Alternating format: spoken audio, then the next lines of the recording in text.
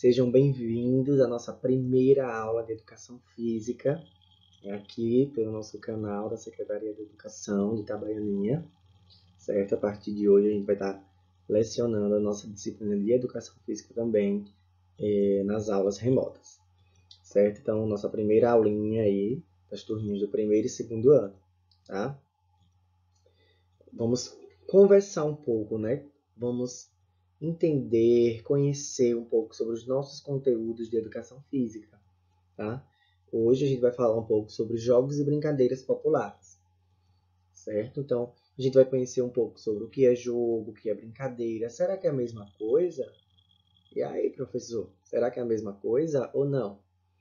Então, hoje a gente vai conhecer um pouco sobre o que é jogo, o que é brincadeira. Vamos eh, se vocês conhecerem também alguns tipos de brincadeiras e jogos, né, dos que eu tarei, dos que, das que eu estarei mostrando aqui durante nossa aula. Tá bom? Então vamos dar continuidade. Jogos e brincadeiras populares, né? Qual a diferença entre eles, né? Será que jogo é a mesma coisa de brincadeira, professor? E aí, o que, é que vocês acham? Do qual vocês gostam mais, de jogos ou brincadeiras, né? Eu vou fazer essa mesma pergunta no final da nossa aula, que aí quero ver, depois que vocês conhecerem a diferença, né? É, do jogo da brincadeira, aí vocês vão me dizer da qual é que vocês gostam mais. Vocês gostam mais de jogos ou de brincadeiras, tá bom? É, e vocês, tem alguma brincadeira, algum jogo preferido que vocês gostam de estar brincando, né? Porque eu, quando criança, gostava até hoje, né?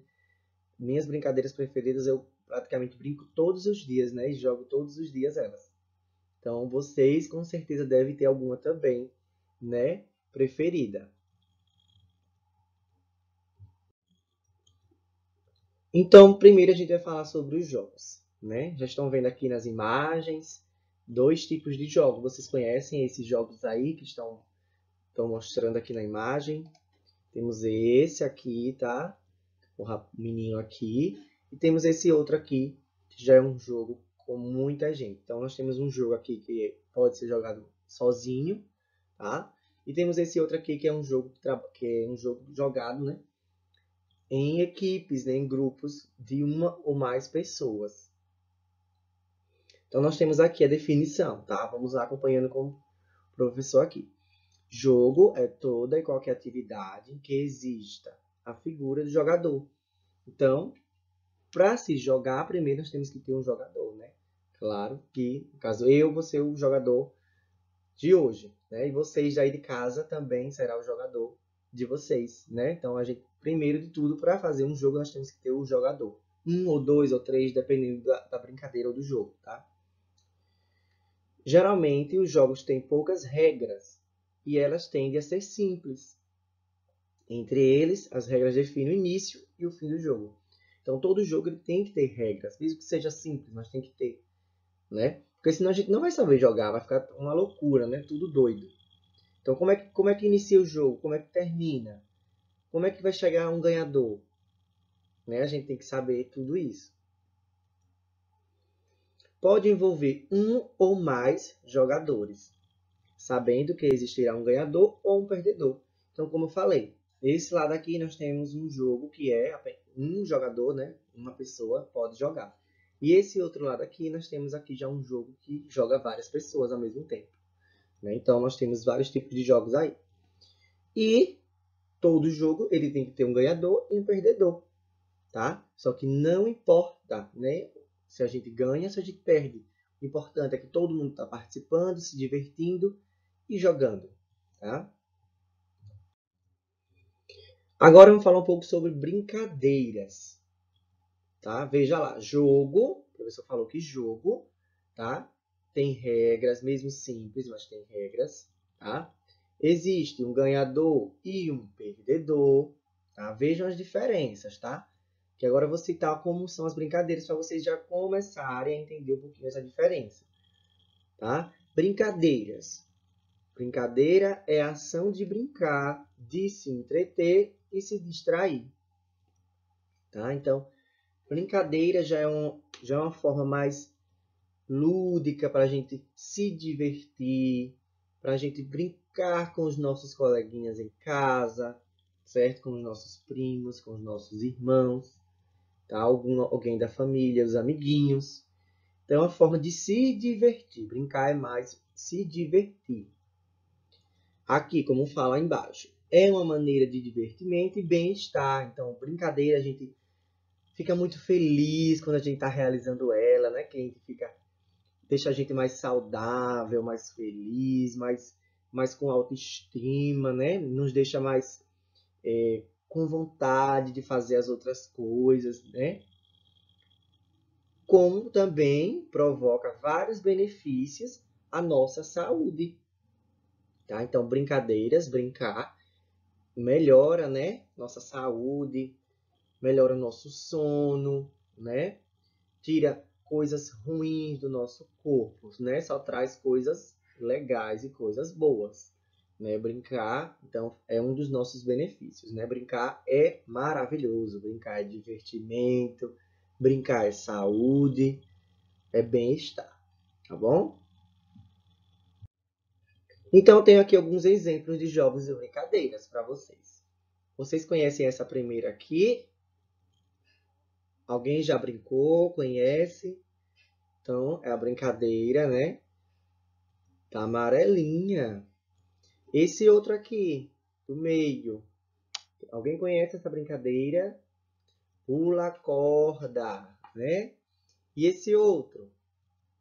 Brincar de roda. Então, três brincadeirinhas aí que eu tenho certeza que a maioria já brincou, que são brincadeiras muito, muito conhecidas né? Brincadeiras antigas, populares. O que quer dizer popular? Uma coisa que todo mundo conhece. Então são brincadeiras que já existem há muito tempo, que os pais de vocês, os tios, os avós já brincaram e que até hoje a gente brinca e existe até hoje, tá bom? Mais brincadeiras aqui, jogos. Ó, esse aqui, a peteca, olha que legal. E esse, brincar de gude. E o último aqui, tá? É o jogo do queimado.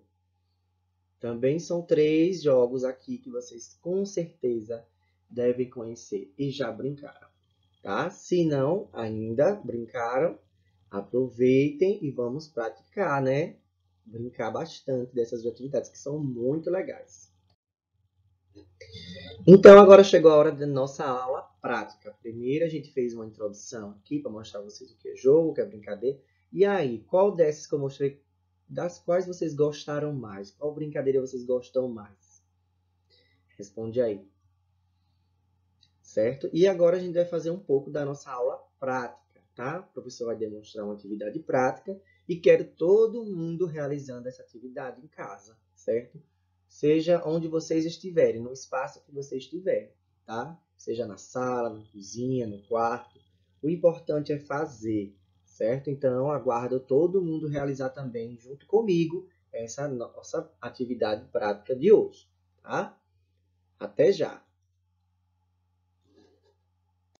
Olá, alunos! Agora vamos para a nossa aula prática, certo? Então, hoje eu trouxe para vocês um exemplo de uma atividade prática que vocês podem estar fazendo em casa, certo? No espaço que vocês tiverem mesmo.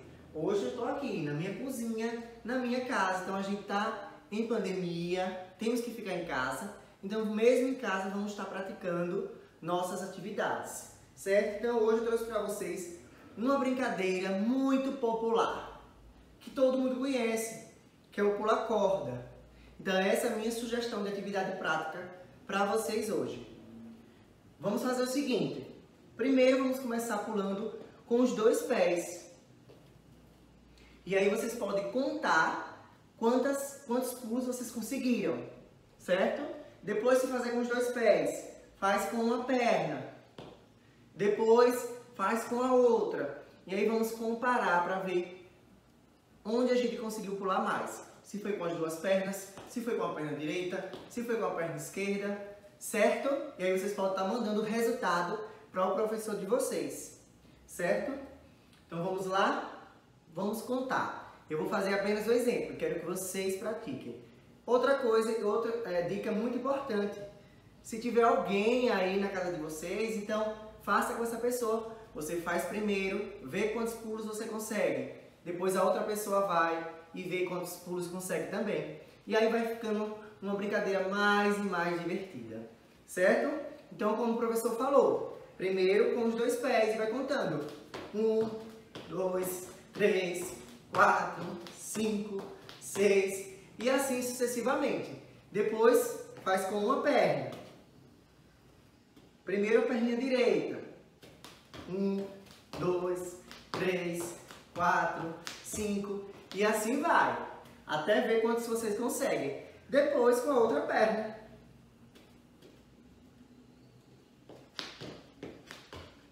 Três, quatro, cinco, certo? Então agora a vez de vocês. Quero ver de vocês quantos pulos vocês conseguem com a corda. Então fica aí uma dica da atividade de jogos e brincadeiras populares. Até a próxima aula!